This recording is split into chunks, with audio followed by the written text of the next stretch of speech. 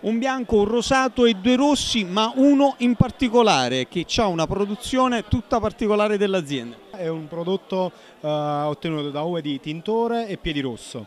Eh, queste uve vengono vinificate e fanno il primo passaggio in legno divise, nello stesso legno però con due tostature diverse, quindi è un rovere ma con due tostature, una un po' più aggressiva diciamo così per stemperare un po' i tannini del tintore e una più dolce per arricchire, ammorbidire ancora di più il piedi rosso.